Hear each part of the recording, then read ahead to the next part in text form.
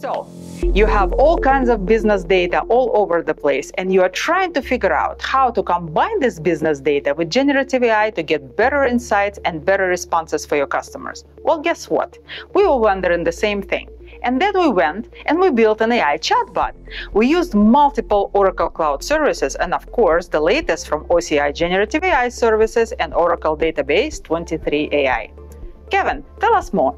Here's how it works. When you ask the chatbot a question, it uses Oracle Database 23 AI's new vector search capabilities to grab relevant data from multiple Oracle knowledge sources, such as the Oracle documentation and Oracle Live Labs.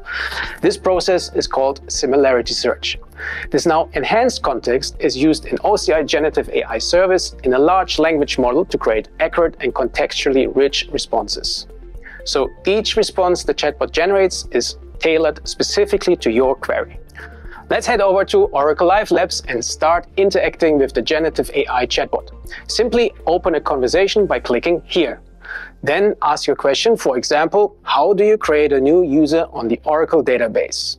Follow our guide on Oracle Live Labs if you want to learn more about vector search in Oracle Database 23 AI.